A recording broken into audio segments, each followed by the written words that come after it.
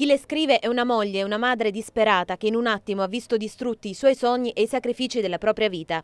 Inizia con queste parole la domanda di grazia che la mamma di Casarano ha scritto di suo pugno al Presidente della Repubblica.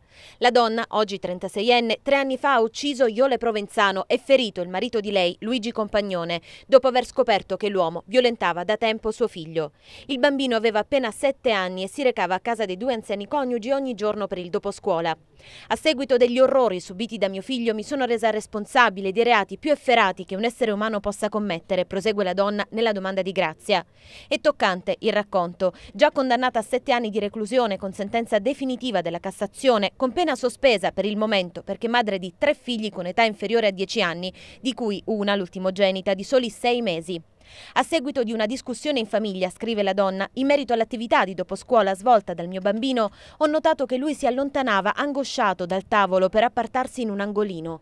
In quel momento sarebbe venuta a conoscenza delle ripetute violenze subite dal figlioletto nella camera da letto della famiglia Compagnone.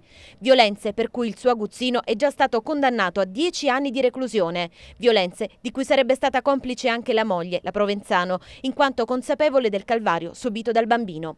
Inizialmente la madre avrebbe deciso di non denunciare l'accaduto per preservare il suo bimbo allontanandolo definitivamente da quella casa, ma i continui disturbi del piccolo le hanno fatto perdere i lumi della ragione. Il resto è cronaca già nota. Ubriaca si è recata a casa degli anziani coniugi. Qui ha ucciso Iole Provenzano con un coltello da cucina mentre la donna faceva da scudo al marito disteso sul letto.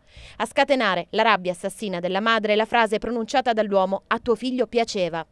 Per questo la mamma, assistita dagli avvocati Luigi Corvaglia e Francesca Conte, ora si appella al cuore di Napolitano, il cuore di un genitore che ama i propri figli prima ancora che quello del capo dello Stato. Sono una madre totalmente distrutta, scrive, ma ora la serenità di mio figlio è nelle sue mani. Mi permetta di stargli accanto per avere la possibilità, con la mia presenza, di porre rimedio al dramma che il mio bambino vive ogni giorno.